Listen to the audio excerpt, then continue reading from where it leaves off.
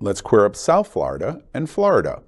From LGBTQ plus news partner Them and writer James Factora. Miami suffers a loss as Tiffany Banks, a trans woman, is murdered. Tiffany Banks, a 25 year old black trans woman, was killed in Miami, Florida at the beginning of the month. Little other information is available about the circumstances of her death, but it has been confirmed by local LGBTQ advocates at the Equality Florida and the McKenzie Project. According to the blog PGH Lesbian Correspondents, a suspect has reportedly been arrested in connection with the crime.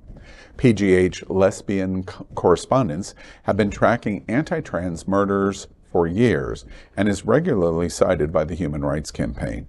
Tori Cooper, the HRC campaign director of community engagement for the Transgender Justice Initiative, said, quote, the lack of available details and underreporting of Tiffany's death is troubling, and we will continue to fight for justice for Tiffany, end quote. Read more at them.us.